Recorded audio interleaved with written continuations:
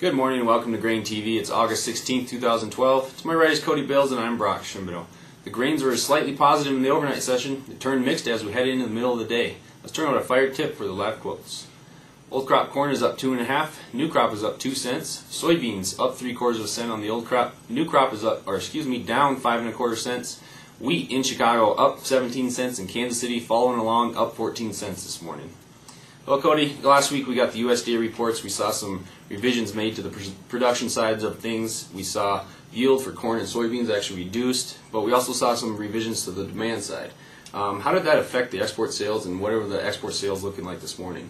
Yeah, let's take a look at the export sales. They were mostly mixed this morning. Last week we said that uh, people were going to be focusing a lot on the demand destruction here, and so let's just get right into the weekly exports. We saw 122,000 metric tons for old crop corn. That's not all that great. Corn and wheat both missed analyst expectations. Beans came in above analyst expectations, but it was a result of the new crop sales. Look at that, 924,000 metric tons that were sold for new crops. So that, that actually moved beans ahead quite a bit. Um, take a look at uh, where corn is in terms of where it needs to be to meet USDA expectations. Keep in mind that we did revise the export forecast uh, down 50 million bushels in the last WASDE report. Here you can see that we're just not able uh, to, to be uh, making these sales at the pace, and we're still 20 million bushels behind uh, the pace that we need to meet the USDA expectations for 2011 and 2012. So let's look at beans here. Completely different story. We're ahead of pace, 41 million bushels,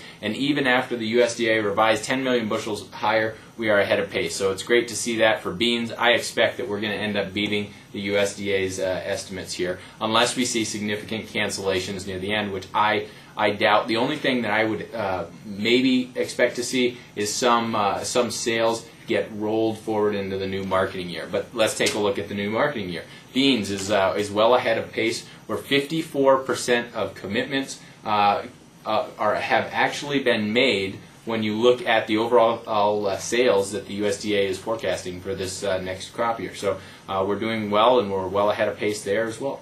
Sounds like we're falling a little bit behind on corn. Beans are still looking pretty strong, even though we've seen high prices over the last several weeks.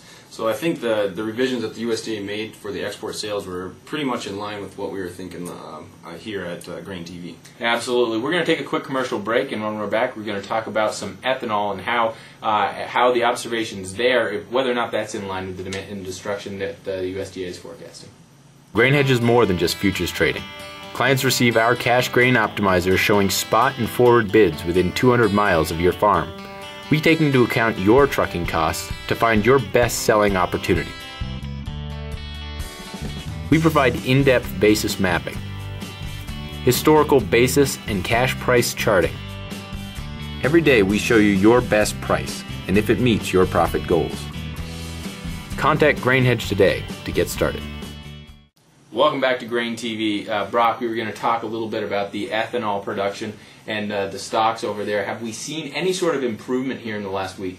Yeah, you know, we did see another improvement in the ethanol production. That's three weeks in a row we've actually seen upticks in ethanol production. This week we actually gained about a quarter of a percent over where, where we were last year at 819,000 uh, barrels per day versus where we were last year, we're about 9% below on production per week. So that's kind of concerning as we move forward here. Uh, but we did see those revisions in the USDA uh, um, as far as how much corn is going to go to ethanol use this next year. Stocks, on the other hand, we've seen eight of the last 11 weeks, we've seen stocks being reduced. This last week we saw it reduced about 1%, but where we were in relation to last year, we're actually 5% above where we were last year on stocks. However, with the production increasing and with stocks being lowered, we are the implied demand for ethanol is actually quite a bit higher than what we are actually producing at this time. Something that I'd like to mention here is that we used about 87 million bushels last week um, for bushels of corn for ethanol uh, production, but where we what we need to use to meet the USDA expectations for the remainder of the year is about 105 million bushels. So we're quite a bit behind pace on that. We may see another revision in the September WASDE report uh, for ethanol production. If we take a look at some charts of where ethanol futures are in relation to what gasoline futures are doing right now, you can see right here that ethanol futures, the top uh, chart, actually rallied throughout most of the summer months, but we kind of tapered off towards the end of this summer.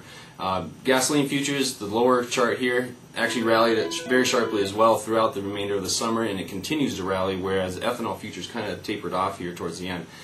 Right now, gasoline futures are actually holding about a 50 cent premium over what the ethanol futures are are uh, running. So you, I think that the blenders are actually going to continue to blend ethanol at a pretty substantial rate, uh, given these two price levels that we see here. Yeah, absolutely. If you take a look at uh, if you take a look at basis for for ethanol, just the basis scenario, where the premium bids are right now.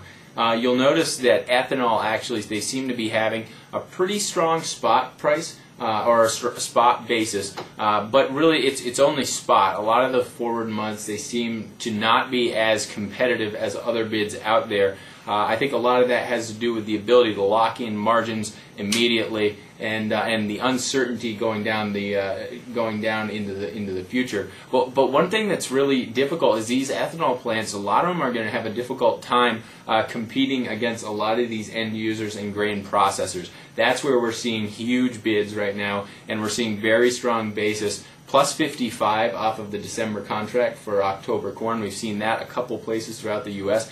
Guys, take a demo of the FireTip trading platform. You'll also get a demo of the cash market intelligence platform that we have. It'll help you identify some of these trucking opportunities. We'd be happy to walk you through it. It can mean um, it, it can mean a big difference between in your your bottom line at the end of the year when you can identify these selling opportunities in the cash market. So uh, give us a call 877-472-4607 or uh, or visit us on grainhedge.com and we look forward to talking with you. See you tomorrow.